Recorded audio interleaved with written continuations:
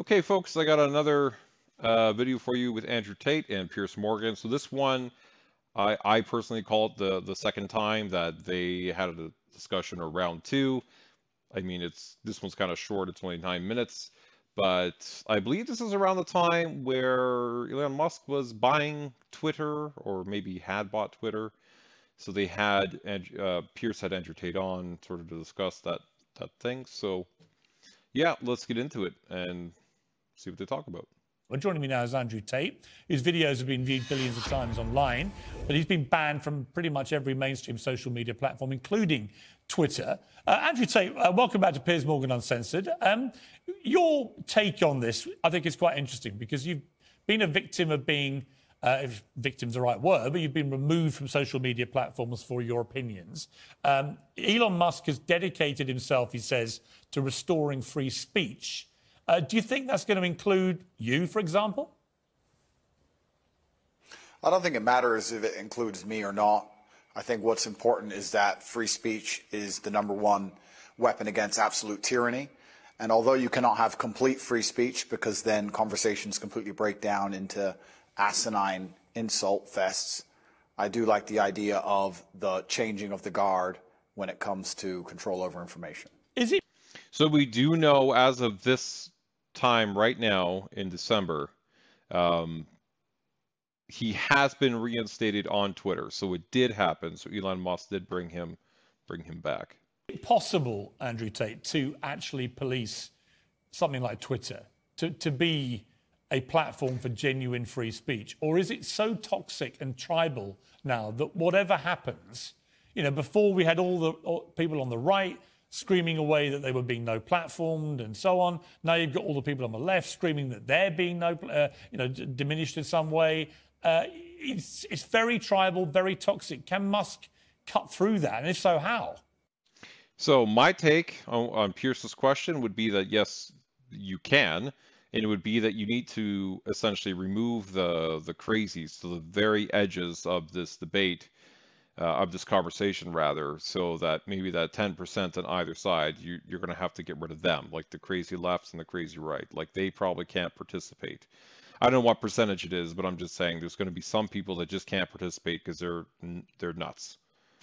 Um, and an interesting way to look at it is if you think about you know the average intelligence of of somebody right? Like average is 50% that's the average in the middle take the average person, okay, and you're, you're thinking to yourself, yeah, average person, not that like crazy smart, like, you know, just pretty average. And now just go down 20%. Now you're at 30%. Just think, what, what are those people? And then just think, go down uh, to 20% or 10%. What about that 5%? Like just just think like you went from average, an average person, and now you went down to like 5%, 10% intelligence level or 20%. Like these people are going to be well, at, at some level, there's just going to be people who are just not functional in society, but there's going to be people who are just not capable of having a civil discussion, not capable of thinking, properly. They're just they're just they're just not going to have the intelligence to control themselves. So when I I just if you just think about it that way, then I mean it's obvious that a certain amount of people just won't be allowed. Like if they're on there, they're just so ridiculous that you're just going to all have to mute them, or just ignore them. But yeah, it's going to be extremely difficult. There's always going to be one group of people who are extremely unhappy, but I think that anybody who's perspicacious enough to understand the truth of what's been going on in the world recently will know that the left and their narratives have certainly been protected for a very long time. And the universe has swings and balances, and God often restores balance to the universe, and perhaps it might swing the other way for a while. I truthfully am a person who believes that all points of view are extremely important because as soon as you block points of view, you have absolute tyranny. And in a way, it's. If they have points of view and they're not just like shitters, like purposely just they're not there to add anything. They're just there to start fires and like blow things up and threaten people. That's different. So there's going to be a certain group amount of people who are just going to be so ridiculous that you, you it's like they just add nothing. Sort of self-defeating, isn't it? Because you carried on getting huge attention. It was interesting to me that when you came on the show, for example, we've had I think nearly 6 million people have viewed the whole interview that we did, which is a huge number of people, certainly far higher than watched it on conventional television. So you have a whole you have a whole world out there online which operates away from social media platforms. Yeah, uh, I've been very, very successful in spite of them, but not many people can do that. Uh, I'm in a pretty unique position. But I think that everybody needs a voice to a degree, and social media platforms are now the most important platforms on the planet. They control information and they influence real world decisions and they influence people's perception of reality. The last few years of COVID have been a perfect example of what happens when you censor one side of the argument and you only allow one point of view to be purported by the matrix in and of itself. And that's how you end up in tyrannical situations. I think you were just discussing that, Piers. Yeah, and I think that's a perfectly valid point. You know, people have quite, I think, quite rightly held me to task over some of the positions I took during the COVID pandemic, uh, notably when the scientists said, as a definitive fact, that you, you couldn't transmit the virus if you had the vaccine. It turned out that wasn't true. And I based my observations on that supposed fact and said, right, well, in that case, if you refuse to be vaccinated, you shouldn't get the same rights as people who've been vaccinated. If, if it's true that if you're unjabbed, you can pass it on. It's just think about what he said there, right? Like we all know that not to be true now, but just like just for ourselves as people, if you ever feel yourself like you're going to say something that's extreme, you know what I mean? Because that's an extreme view, what he's saying. You just, like, before you say that, assuming you're not like the person who blurts it out, but just think to yourself, like, okay, I'm thinking this people who don't get the vaccine shouldn't have the same rights because they are going to be transmitting this virus to other people because they're not willing to get it. So they shouldn't have the same rights. They shouldn't be allowed to go out. They should have to stay home, whatever. They need to be segregated from from the good people. It's like you almost have to like it takes it takes a person to like to to to think that say it and then recognize like that sounds really extreme and then not broadcast that. So it's like an introspection on ourselves and what we believe and what we think. I think if everybody could do that or the majority of people could do that we would be in a much better society because the amount of times we say something and we literally put our foot in our mouths like we believe something so much because oh we saw this one thing so that mean that means it's true my god it'd be a better place be a better world it turned out actually there's not much difference whether you've been vaccinated or not and at that point i changed my mind uh, uh, but I, I, felt that yeah, there were a lot of people who were being deplatformed from twitter at the time for questioning the validity of scientific statements, and they mm-hmm. would then be a complete U turn. So I do think it was a very interesting period, actually, for testing what free speech it means. Actually, it was actually worse than that. You're right, But it was actually worse than interesting because what happens is when you censor an entire side of the argument and only allowed one side of the argument to have a voice, you are changing reality in real time. You are shaping the world. The only reason that scam continued as long as it did, and the only reason people didn't get to see their own parents get buried, and the only reason people sat and mass- missed cancer appointments because they were scared of the common cold was because they were censoring anybody who said anything contrary to the purported version of events that the mainstream media decided they want the entire world to swallow. It's beyond simply interesting, and it's beyond simply uh, funny or coincidental. Yeah, I mean, I will. Look, I will. I will he brings up a good point. Like there was so many other effects, right? Like those and those are immediate effects. So like people who couldn't get treatments for other diseases or illnesses that they had, etc. So you you right away had that effect, right? And for various reasons. Like I even here in Canada, we had places where um, non-vaccinated people were protesting outside of hospitals and blocking the uh, ambulance from getting into the hospital. And so, yeah, I'm sure a lot of times that didn't do anything. But there could have been somebody who really needed to get to the hospital right away, and now you're blocking an ambulance, which is a crime, right? Or slowing it down, impeding it. And maybe those 10 seconds or one minute or whatever you know that happened was a critical time uh, for that for that life and death situation, right? And maybe maybe it never it never was. I personally didn't hear of any uh, deaths that happened uh, due to that, but I mean, I mean it could have, right? I don't know. Um, I didn't really follow that that closely, but it's it's and that's just an example on the on the on the non-vaccinated side or unvaccinated side. And then we had the trucker protests here in Ottawa, um, which it's so muddled the facts there. I don't. Uh, it's it, you know if you listen to the left wing media, you hear one thing. If you listen to the right wing media, you hear another thing. Um, I just take the position sort of in the middle that I'm sure that they they did some bad things. Um, uh, or they had some negative effects, obviously, on the people who lived there, right by the Parliament buildings, and people who had to get to work or businesses, etc. And I heard like, if you're playing music and and and having like trucks revving engines or whatever they were doing, I mean, yeah, it's going to have an effect. So.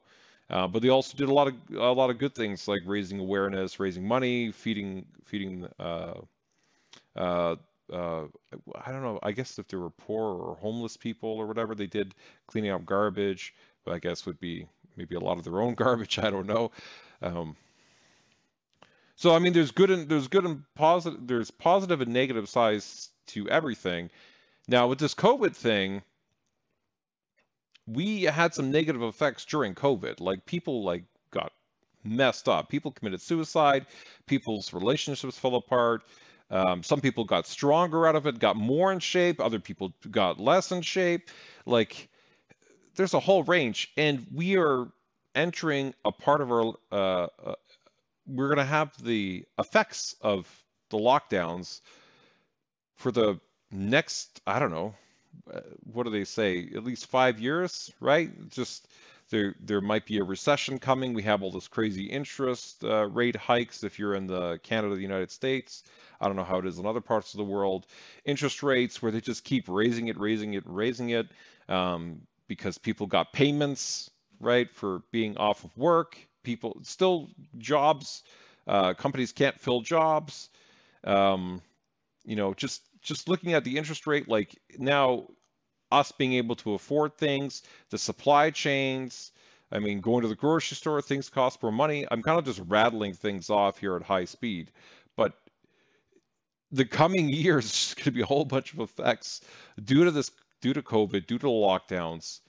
Um, I don't know. We'll see what the hell happens, but it is. It, it's more than just the immediate thing. So everybody, when they when they're looking at like how should I be planning my next few years, just keep in mind we're still going to be dealing with all this crap from COVID for the next few years. So it, I am not a financial person, so obviously I don't have any idea how long, but one thing you're continuously hearing from financial uh, folks, at least the ones that I listen to, is there will be uh, a long effect. You're going to be seeing it, so just keep keep that in mind. Um, we're we're seeing it right now, and it's still it's just going to continue. I mean. I'll challenge you on one thing. It's not the common cold, right? COVID 19 has killed 6.6 million people. It is one of the most deadly viruses, certainly of our lifetime. So it wasn't the common million. cold, but I do think it is completely justified Worldwide, for people to say we should be more cautious, I think, about accepting during fast moving pandemics the word of scientists as being sacrosanct because on a number of things, from the use of masks to the efficacy of vaccines in preventing transmission, they did massive U-turns. You know what's interesting, actually? I heard that uh, uh, I don't know if it was ever in Africa or certain places in Africa they got COVID and like it barely affected their populations. Like they had very low uh, death rate and serious illness rate. I guess because of other, uh, what is it, malaria, malaria medication or something. I could be getting this wrong, but um, I guess they just deal with different illnesses and diseases there and different medications, and they were just better. They're they were naturally better at fighting it off. So I think I thought that was interesting. I've read enough history books to know that the people who do the censoring are never the good guys. And they've been censoring a lot of arguments for a very long time in the name of good. They are weaponizing virtue, and it's always in the name of tyranny. Anybody who is out here trying to silence an entire side of an argument on any subject, whether it's COVID 19, immigration, anything else, they are the evil people who are out for absolute mind control of the populace. And they well, should I be certainly, feared. I certainly agree. I certainly agree that I think the healthiest thing for any dem- democracy is for all views to be aired and debated. We seem to have lost the ability to debate. You know, when I interviewed you, yeah, we had a few fractious moments, but actually, I thought it was a pretty spirited debate between people who perhaps had, you know, preconceived views of each other. And I've got no problem interviewing you now about these because I think you have an interesting uh, take on this stuff. And that's the key to life. When you reach that level of adolescence in your mindset where you can't handle any point of view that is contrary to your own, then you're truly a broken person. And that's what the internet is purporting. It's very interesting you said about Twitter being tribal. There's a large mm. contingent of people on Twitter who simply cannot handle reading an opinion which differs from their own. And that yeah. is a degree of immaturity that we do not need adults to be functioning with in the modern world. No. I personally like i just think that's crazy I, I can't even imagine being that kind of person who like reads something on twitter or on social media just be like like oh my god this pisses me off so much that it like I, I don't understand it like i don't understand how you get there that's just it's just wild it's just wild i'm just not like that at all i read things all the time that i disagree with and i'm just like I don't agree with any of this. I think this is complete bull crap. But I, it's like it doesn't upset me the way these these other people seem to get upset. It, it's ridiculous. No, I agree. Uh, if you were Elon Musk, this idea of charging eight dollars now a month, uh, whatever it is, to access the blue tick premium Twitter account, would you do that? Would you pay the extra? I think that social media companies for a very long time have lived in an absolute fantasy where they've printed money from thin air by charging people for pixels. And they grew into these large conglomerates with too many staff sitting around doing nothing, having coffee breaks. And Elon Musk is a businessman. He's walked into the office and he's firing a bunch of people who are messing around doing nothing. And he wants his business to make money as it absolutely should. And how he decides that happens is his prerogative. I don't see why we should sit and accept that a website needs 200,000 people sitting around discussing in long meetings, sitting on bean bags about policy of human rights of some garbage when he's come along and said, no, I'm a businessman. We're going to charge for our service. We're going to reduce the number of staff. And we're going to be a functional, coherent company as they should be. And it's his prerogative to do it as he's bought the company. I think he can do whatever he wants. Yeah, I mean, that's a. I mean, the ten dollar thing. We'll see. I, I, guess we'll see. I know he rolled it out. I, I haven't done it. I don't know if I will. Um, I want to under. I guess I need to understand more like what I'm getting for that. I know it's like it's uh sort of like priority queues. If you're a blue check, you go into a different queue than uh, somebody who's not. So if people, if you want people to see your messages, right? Like, I think if you're a blue check, it's e it's easier to see it, something like that. I don't really under, I don't really know all about it. Um, but I just think like if you're not paying for a service, then how are they making money? And we always talk about ads, but I'm like, do ads really make that much money? Like, are they really making that much money to pay all those employees? I just, it's like you always, um, uh, different people said it. Like, if you don't know who, if you don't know what the product is or service that they're selling, then you're the product. Or, so they're just taking our information, what we're doing, and selling it so if paying $10 a month saves them from having to sell our personal information so we can use the service, then I would say it's a good thing. And I, I, I would prefer that. I I, I don't disagree because I remember the appalling censorship of the New York Post exclusive uh, about Hunter Biden, the son of the president, about his laptop. This is three weeks before the, the election that Joe Biden won. Uh, he was heading, you know, to a possible victory, but it was tight. And that story, they reckon, could have tipped it either way. But it was completely suppressed and censored, uh, starting with Twitter, then Facebook, then others. Twitter literally locked out the New York Post account for two weeks. You know, now that we know, now we know with the Twitter files or whatever that they've been releasing on uh, on Twitter under Elon Musk, that I mean the government was involved in this. The FBI, FBI was involved in this. The politicians were involved in this. They wanted it to be silenced, and it was. And they they didn't have justification to do it, so they just did it anyways. Like it. And if Piers is, you know, I don't know, I didn't follow the election closely enough to see how, uh, to know how close it was, the U.S. election. But if that was the case, had that come out and people had actually read it, you know, um, read the story, maybe Donald Trump would have got elected. I don't know. I don't know if that would have been better than having Joe Biden being elected, because Trump was a very polarizing figure. But regardless, taking no sides on who should get elected, right? The fact that they censored or you know uh, blocked the information from one side but didn't block it from the other side is pretty damning. Like that's pretty damn bad. For breaking a completely true story. I thought that was shameful. When, it's worse than shameful. It's worse than shameful. When you control information, you control the real world. They affect the real world in absolute in real time. They are genuinely affecting the reality people live in. They are not just a company. They're not just a social media platform. It affects absolutely every single person on the planet when it changes who is elected. I don't want to comment specifically on Hunter Biden or the laptop. I would never kill myself, but I don't think it's fair that they would hide certain key information that close to an election. And the fact that they've done that was done specifically to affect to affect the world that we all live in. And we all have to suffer the consequences of those things. So to sit and say that these companies can just do whatever they want, they're private, etc. No, free speech is beyond important for democracy. It's important for the reality that we exist under. Andrew Tate, thank you for joining me. I appreciate it. That was a good. That was a good. Uh, a good interview. I thought it was more cordial than the original first one uh, that they did. I thought it, I thought it was pretty good. You know, it's obviously a lot shorter. Um, I don't know what he's saying at the end there. I wouldn't kill myself. What, what, is that in reference to his belief that if he talks about things that they don't want him to talk about, he'll end up like Epstein, put in prison, and then all of a sudden be dead? That's pretty. That's pretty high level. I don't know anything about that. Just gonna leave that alone. All right.